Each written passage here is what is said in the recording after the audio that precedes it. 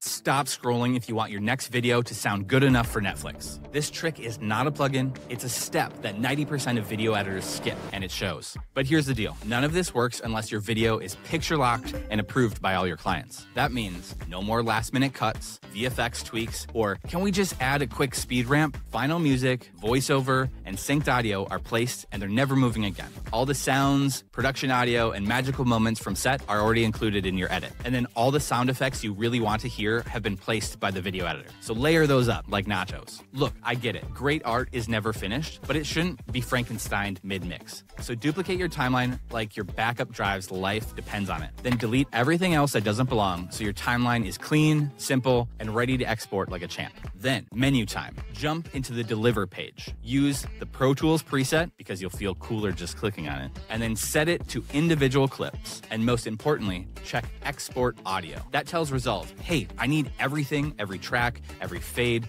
every awkward breath, and every audio file in my timeline. Then export a video with the same sequence so it lines up perfectly because you got to see what you're hearing. And if you want to be extra pro, you can burn in timecode, add a two pop, and the process will be ready to go. Zip those together and send it to your favorite post audio wizard, and then they'll turn your solid edit into something that slaps. Follow these steps, and your mixer can do the job in one clean pass. Skip it, and you're paying for back and forth edits like it's Groundhog's Day. So save this and share it with your next collaborator.